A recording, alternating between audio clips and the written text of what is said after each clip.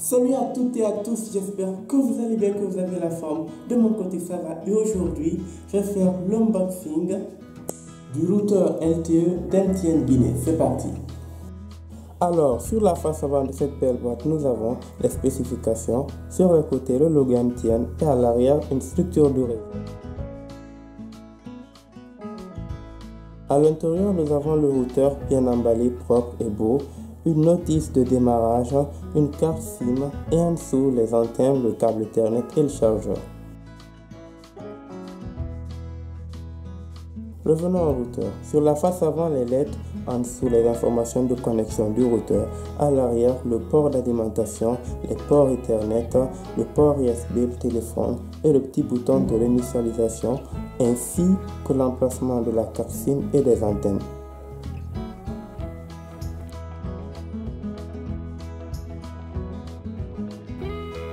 Sur la partie supérieure, le bouton Power et celui de la connexion WPS. Passons aux antennes toutes longues et belles.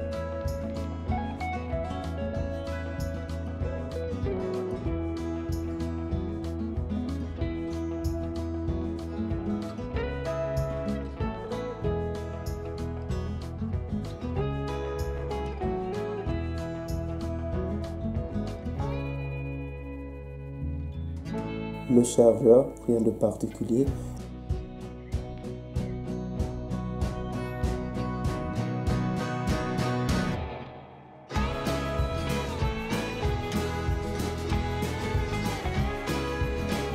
Et le câble Ethernet.